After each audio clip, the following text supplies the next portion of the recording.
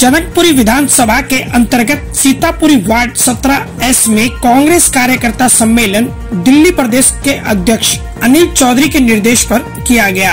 कार्यक्रम में हरियाणा बादली से विधायक और जिला तिलक नगर के ऑब्जर्वर कुलदीप वत्स, राजू यादव, तिलक नगर जिला के कोऑर्डिनेटर धर्मपाल चंदेला, जेपी पवार, वीरपाल भाटी, फजलत बेगम सहित भारी संख्या में स्थानीय लोग शामिल रहे।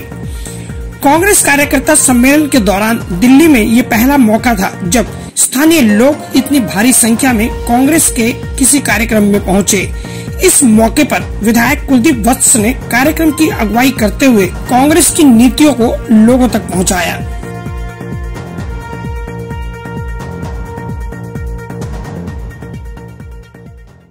हमारे साथी चंदेला साहब हैं, पवार साहब हैं, सारे हमारी जिम्मेवारी लगी है जिस प्रकार से आम आदमी पार्टी के जो मुख्यमंत्री हैं अरविंद केजरीवाल जी हैं, या देश के प्रधानमंत्री आदरणीय नरेंद्र मोदी जी, जिन्होंने इस देश को और प्रदेश को बर्बाद करने का काम किया। तो आज हम अपने जो कांग्रेस के वर्कर साथी, जो कांग्रेस के रीड है, जो कांग्रेस की जान है, आज हमारी मीटिंग इन सकी और हम सारे साथी मिलके, कांग्रेस के प्रत्येक व्यक्ति का एक परम कर्तव्य बनता है। इस देश की जब आज़ादी कांग्रेस के छोटे से लेके बड़े परिवारों ने अपनी कुर्बानी देके इस देश को आज़ाद कराया। और जो देश आज पूरे विश्व में भारत का नाम गिना जाता है तो हम जो बीजेपी और आम आदमी पार्टी इस देश और प्रदेश को मारने का काम करिए बर्बाद करने का काम करिए तो हमने आज एक रणनीति के तहत अपने प्रत्येक कांग्रेस का व्यक्ति घर घर जाएगा। और इनके जो कुशासन की जो गलत नीतियाँ हैं, चाहे बीजेपी की चाहे आम आदमी पार्टी के वो लोगों को बताएँगे और कांग्रेस को मजबूती से अपने जो निगम के चुनाव है, इनमें भी जीतेंगे और आने वाला जो प्रदेश का मुख्यमंत्री होगा, वो भी कांग्रेस का होगा और देश का जो प्रधानमंत्री होगा, वो भी कांग्रेस का होगा। इसके लिए आज हमारी हम पूरे कांग्रेस के लीडरशिप ने हमारी जिम्मेवारी लगाई। आदरणीय राहुल गांधी जी ने तो उसके हम प्रत्येक व्यक्ति घर घर जाके कांग्रेस को दिल्ली के अंदर भी मज़बूत करने का हम काम करें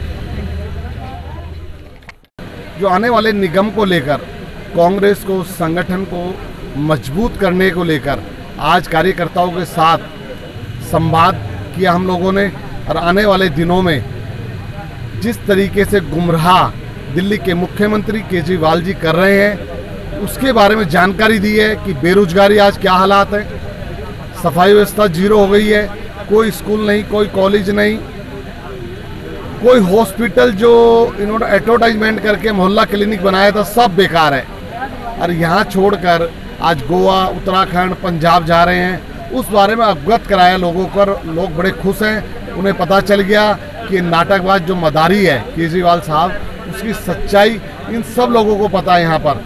तो आने वाले दिनों में दिल्ली के अंदर कांग्रेस आ रही है, जो झूठ का पुलिंदा तो खत्म हो चुका है। तो मैं बधाई देना चाहता हूँ अमर तिवारी को कि बहुत अच्छी कार्यकर्ताओं के साथ मीटिंग कराई सबको बड़ा मान सम्मान दिया। बहुत बहुत धन्यवाद। कार्यक्रम में भारी संख्या में लोगों की मौजूदगी में क्षेत्रीय समस्याओं पर बात करते हुए कांग्रेस वापसी को लेकर यूथ जिला अध्यक्ष तिलक नगर जिला कमेटी अमर तिवारी ने न्यूज़ फोल्डर से खास बातचीत की। मेरा नाम अमर तिवारी है। मैं जिला अध्यक्ष हूँ यूथ कांग्रेस से तिलकनगर डिस्ट्रिक्ट से। आज हमारा जो कार्यकर्ता सीतापुरी वार्ड के अंदर, जनकपुरी विधानसभा है ये, इसमें हमारी दिल्ली प्रदेश कांग्रेस कमेटी के अध्यक्ष चौधरी अनिल कुमार जी ने यहाँ पर ऑब्जर्वर लगाए हैं एआईसीसी से ऑब्जर्वर कुलदीप वत्स जी को लगाया है, राजू यादव जी को दिल्ली प्रदेश से लगाया है, तमाम हमारे डिस्ट्रिक्ट के कोऑर्डिनेटर जेपी पवार साहब, चंदेला साहब, और इन लोगों को लगाया गया कि आप कांग्रेस की नींव में जाइए, नीचे लोगों के घरों में जाइए एक एक कार्यकर्ता के घर में जाइए, और जो लोग रूठे हुए हैं उनको मना के लेके आइए तमाम जो लोग लगे हुए हैं, उनका मनोबल बढ़ाइए। कांग्रेस को मज़बूत करने के लिए आज हमने कार्यकर्ता सम्मान समारोह रखा था। यूथ जिला अध्यक्ष अमर तिवारी वार्ड 17 एस में अपनी टीम की मदद से प्रत्येक व्यक्ति को मदद पहुँचाने का काम कर रहे हैं। साथ ही स्वयं सफ़ाई व्यवस्था संभालते हुए लोगों के काम भी करवा रहे हैं। यही वजह है कि उनके कार्यक्रम में भारी संख्या में स्थानीय लोगों ने शिरकत की। और लोगों का भारी हजूम देखकर कांग्रेस के तमाम उपस्थित नेताओं ने खुशी ज़ाहिर की। और कार्यक्रम में मौजूद सभी स्थानीय लोगों को माला पहनाकर उनका भी स्वागत किया गया।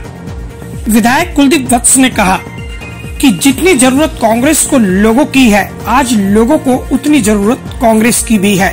कांग्रेस ही थी जिसने दिल्ली में विकास की गंगा बहाई थी।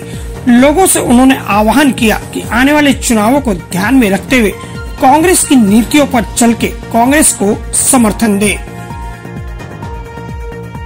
हाँ तो अमर तिवारी का नाम ले है बाइट लगा दी इसकी, और कैसे करेंगे?